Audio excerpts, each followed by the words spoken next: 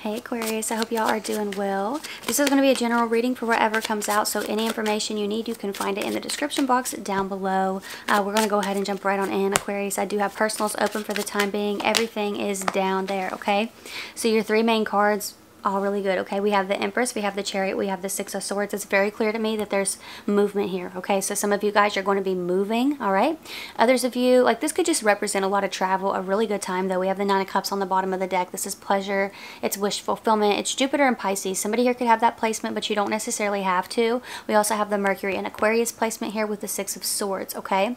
Um, but the chariot is also movement. So there could be a person you're moving on from here. Maybe a cancer or a taurus or a libra or it's possible possible that you're moving on to one of these signs, but uh, the chariot represents a huge win. It's a huge, huge victory here. Um, and we have that six of swords, so I feel like whenever this victory comes in, whenever there's news of this, I feel like you're able to get moving very quickly on something, on what it is that you want here. Let's see what else we have. The Empress is also like a maternal energy, so there could be something here going on with a mother or a feminine energy. You might be a mother, okay? Um, but that is also the energy of just receiving in general. So um, sometimes it can represent a pregnancy. It could just represent the birth of something new, like a rebirth, um, you know, when it comes to you and your life here, Aquarius. So let's see what else we've got. Seven of Pentacles. This is something that I feel has been building up for quite some time here. And Aquarius, I feel like you actually may be expecting this to lead to disappointment. Maybe it's something legal. Like you could be expecting someone to take something from you here. Maybe a Pisces for some of you. You have the hangman on the bottom of the deck. I feel like it's gotten delayed and that's what's worried you. Like something here has been delayed, but I feel like there's a huge victory and it's going to start happening. Like it's going to speed up. It's going to be happening a lot quicker than it has, okay?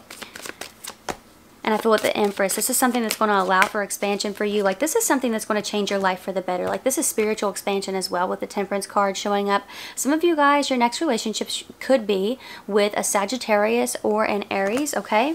Um, that's something that I'm seeing here in the cards as well. But this is somebody who's really going to like push you to expand and I feel like it's mutual you know? It's not just somebody bossing you around telling you what to do. I feel like there is um, a lot of chemistry here. There's like a, you match on a soul level you know? So it's very fulfilling. It's very fulfilling. So I love to see this for you here. A change for the better and definitely one you're not really expecting. I feel like because of a delay you're just expecting it to go the wrong way, you know? So that's what I'm seeing here for you. I hope that this was helpful.